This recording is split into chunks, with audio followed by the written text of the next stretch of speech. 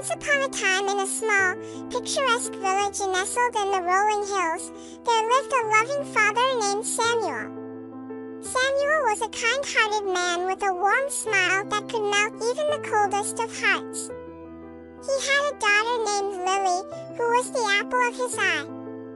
Lily was a curious and imaginative child, always brimming with questions and eager to learn. She would often spend her afternoons exploring the meadows, collecting wildflowers, and watching the butterflies dance in the warm, golden sunlight.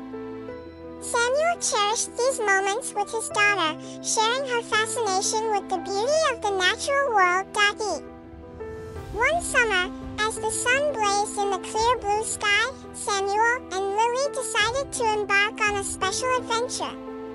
They packed a picnic basket with sandwiches, freshly picked fruit, and a jug of homemade lemonade, and set off for a hike in the nearby forest. The forest was known for its enchanting beauty, with tall trees and a babbling brook that wound its way through the woods. As they walked hand in hand through the forest, Samuel shared stories of his own childhood adventures and the wonders of nature. He pointed out different types of trees, showed Lily how to identify animal tracks, and explained the importance of preserving the natural world for future generations. After a long and exhilarating hike, they found a tranquil clearing by the brook, the perfect spot for their picnic.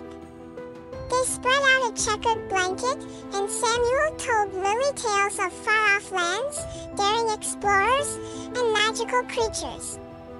The two of them laughed and shared their dreams, all while savoring the delicious food and the refreshing lemonade. As they sat there, the sun began to dip below the horizon, casting a warm, golden glow over the forest. Samuel and Lily watched in awe as fireflies started to twinkle in the gathering dusk.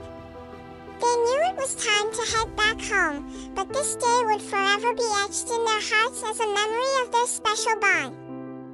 Years passed, and Lily grew into a remarkable young woman, driven by her father's love for nature and her own insatiable curiosity.